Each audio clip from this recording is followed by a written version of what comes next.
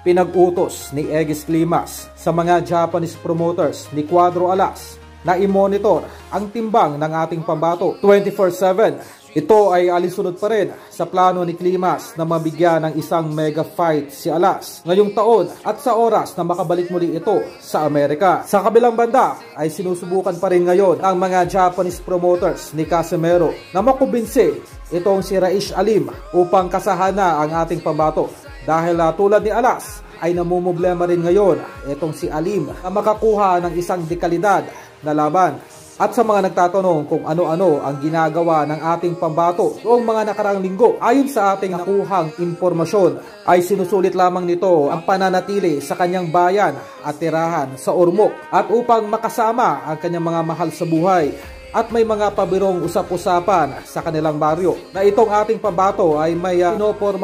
sa kanilang bayan sa nasabing probinsya. Ano't ano pa man ang mahalaga ay uh, nasolusyonan na ni Alas ang problema nito sa timbang dahil na rin sa mahigpit na mandato ni Klimas na panatiliing na sa mababa ang timbang nito.